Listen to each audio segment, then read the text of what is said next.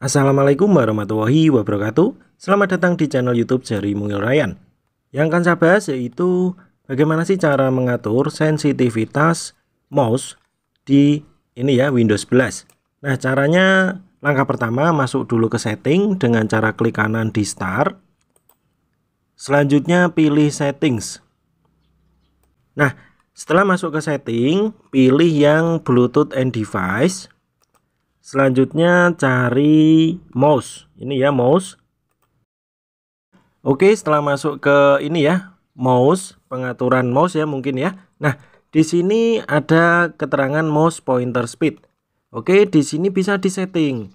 Misalnya ingin disetting ke 15. Nah, di sini tinggal disesuaikan ya. Jadi sensitivitasnya atau speednya bisa disesuaikan.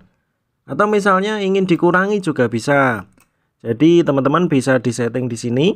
Apabila menurut teman-teman speednya kurang atau sensitifnya kurang bisa ditambahkan lagi. Misalnya uh, jadi maksimal 20 ya di sini ya. Oke.